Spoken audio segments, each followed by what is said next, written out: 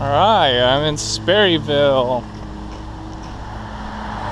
Totally different kind of rural here. It's so quaint and beautiful and mountainous. The Appalachian people are pretty cool. Oh, there's an auto parts store. I have to get fuel there. Awesome. Cool. I can actually cook dinner tonight and have coffee tomorrow. I just had the best time, speaking of coffee, at Triple Oak Bakery. Oh, so cool. I wish I didn't have to go. But I've got a schedule. Man.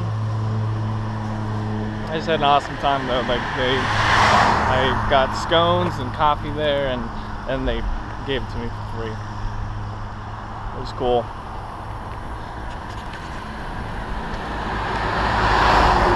So thanks Mary, thanks Brooke. Thanks Sarah and Katie for being awesome. And uh, wish I didn't have to go. But anyway, I'm gonna go get fuel there. I'll talk to you later. Bye. It's um, September 30th.